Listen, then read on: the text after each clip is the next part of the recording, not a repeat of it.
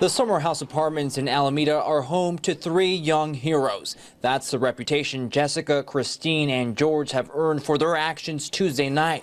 The friends were exercising near the pool when they heard a man call for help. There was this woman on the bottom of the pool. The woman was deep in eight and a half feet of water, and it was difficult for anyone to get to her.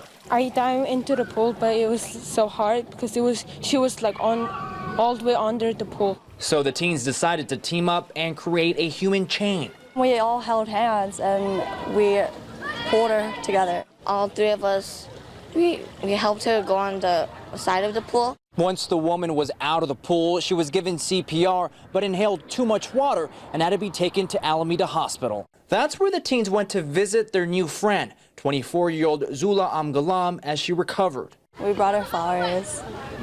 Emotional. After four days, Zula finally came home today, saying she's grateful through an interpreter.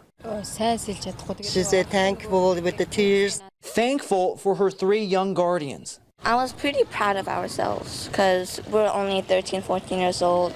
We're in middle school or high school. Two lessons learned here. Stay away from deep water if you're not a good swimmer, and no one is ever too young to be someone's hero.